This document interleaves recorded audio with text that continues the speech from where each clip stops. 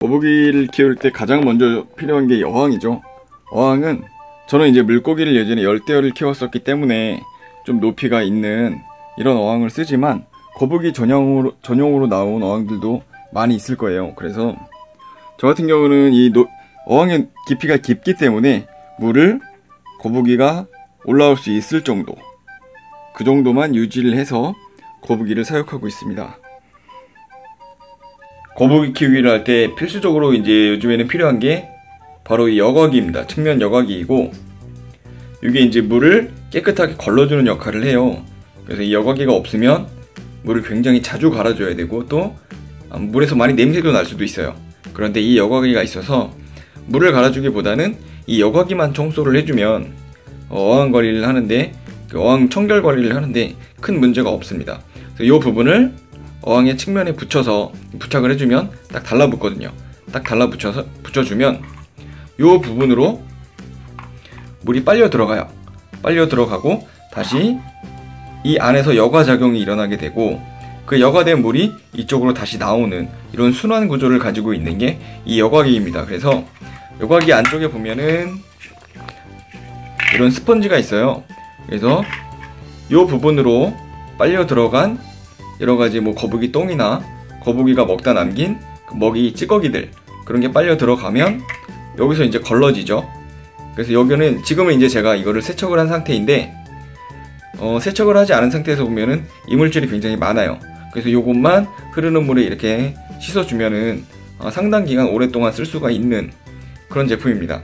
그래서 이런 제품은 이 여과기는 반드시 있어야 되는 이게 없으면 굉장히 청소하기가 힘이 듭니다. 거북이는 1년, 2년 키우는 게 아니고 굉장히 장기간 키워야 되는 것이기 때문에 어, 청소를 하다가 지쳐버리는 수가 있어요. 네, 여기 제가 키우는 거북이입니다. 요 녀석이 있고 또 여기 보면 작은 거북이 네, 요 두 녀석을 키우고 있어요. 그 다음으로는 그 거북이를 키울 때 필수적으로 필요한 제품 바로 이 히터기입니다. 히터는 물을 데워주는 그런 역할을 하고 어, 이런 거북이, 이런 반수생 거북이는 이게 이제 육지에서도 생활을 하지만 활동을 하지만 물속에서 있는 시간이 길죠. 이런 거북이 같은 경우는 수온을 대략 한 26도에서 28도 그 사이를 맞춰줘야 돼요. 그래서 저도 지금 한 28도 정도로 맞춰놨는데 어, 이런 히터기 같은 경우는 사실 큰 거는 필요가 없어요. 거북이는 깊은 물에 사는 게 아니기 때문에 대략 한, 한 20cm 정도 되는 그런 제품이면 어, 거북이가 생활하는데 어, 무리가 없는 그런 크기이고 이런 제품은 아마 대략 한 만원에서 만오천원 정도 할 겁니다. 요거는 어항 벽면에 여기서 이제 부착을 딱 시켜가지고 사용을 하는 그런 제품이고 겨울에는 계속 아마 켜 놓으셔야 될 거예요. 아무래도 공기 자체가 차갑다 보니까 물이 거북이가 생활하기가 힘든 그런 상황이고 여름 같은 경우에는 저는 이 히터기를 굳이 켜놓지는 않습니다. 켜놓지 않아도 여름에는 어느 정도 거북이가 활동할 수 있는 그런 환경이 되기 때문에 어디 가니? 어, 되기 때문에 어, 이 히터기 같은 경우는 이제 겨울에는 반드시 있어야 된다. 꼭 있어야 된다는 거 어, 꼭 알아두시고 요 요 두 가지랑 어항 사실 그 세 가지만 있어도 일단 거북이를 키우는 데는 문제는 없어요. 일단 거북이들 네 어항 청소를 하고 다시 어항으로 들어왔어요. 어항이 조금 저 큰 거북이는 이제 키운 지 좀 시간이 지나서 이 어항이 조금 작아서 이제 조금 큰 어항을 알아보고 있는 중인데 네 지금 물로 들어가려고 하네요. 저 같은 경우는 바닥재를 깔지 않아요. 바닥재를 깔면 바닥재 사이사이에서 물이 이제 쉽게 썩고 순환, 물 순환이 잘 안 돼가지고 냄새가 많이 날 수 있거든요. 그런데 저처럼 이렇게 바닥재 없이 그 대신 이제 거북이가 쉬는 공간은 있어야 되고요.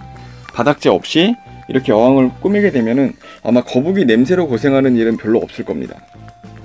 바닥재가 없고 반드시 저기 이제 여과기가 있어야 되고요. 이것만 있으면 사실 어항 냄새 때문에 사실 그 거북이 키우시는 분들이 냄새 때문에 고생하시는 분들이 가끔 계세요. 바닥재만 없애줘도 충분히 냄새는 잡을 수 있다는 거.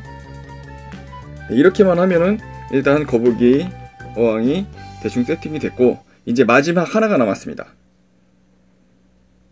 네, 거북이들이 겨울 내내 이제 실내에만 있어야 되는데 건강하려면 이제 빛이 필요하거든요 이제 거북이들한테 큰 도움이 될 것 같고 어, 열이 뜨거워요 뜨거워서 거북이들이 올라와서 쉬기에 굉장히 좋을 것 같습니다 이번 영상에서는 거북이를 키우기 위해 필요한 분비물들에 대해서 간략하게 알아봤습니다. 거북이는 사육 환경만 적당하다면 20년에서 30년이라는 긴 시간을 함께할 수 있는 반려동물입니다. 거북이를 입양하기에 앞서서 오랜 시간 함께할 준비가 되었는지 곰곰이 생각해보고 입양을 결정했다면 끝까지 책임지는 모습도 필요하겠죠. 다음 영상에서는 거북이의 먹이에 대한 내용을 다뤄보도록 하겠습니다. 많은 시청 부탁드리고 좋아요 버튼과 구독 버튼도 한 번씩 눌러주세요.